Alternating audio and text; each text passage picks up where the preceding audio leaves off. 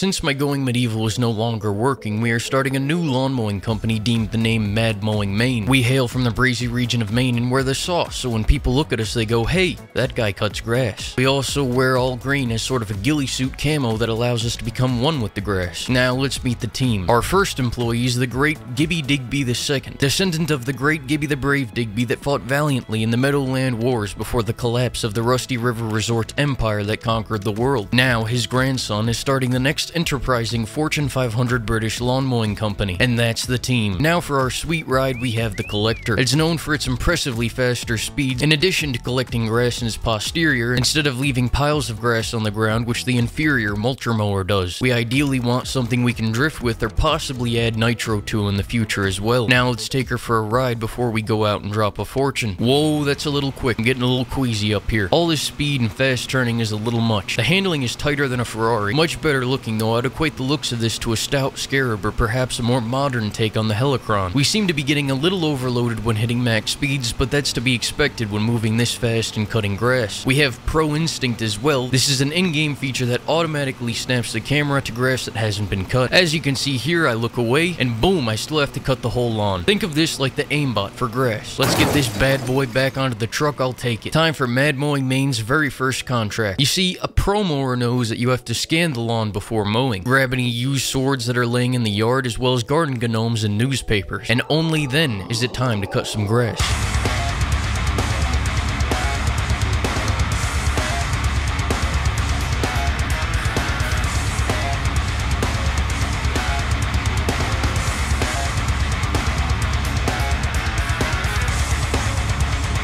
One thing I learned after that mowing montage is that you cannot take out flowers or turn very quickly as you will tear up the ground. But when you come to Triple M, you are looking for shocking speed, not quality. Let's just grab a few stragglers and we'll use this cheap car to help us get aligned with the trailer. Easy money, we are getting richer by the day. We've got one more contract to do and I really feel like I have the technique down. Check out this smooth turning and this perfect speed management to be going at max speed but not holding the trigger down all the way so the engine doesn't overload. I'm still taking out plenty of flowers, but I've also learned that you can mow in reverse, which is neat. Just like that, we are 300 pounds richer, enough money to buy the world. I've also beat the demo and can no longer mow any more lawns. If you enjoyed the video, drop a thumbs up, and I'll see you next time when I recreate Fallout 76 on MMORPG Tycoon 2 so I can truly make enough money to take over the world. Thanks for watching.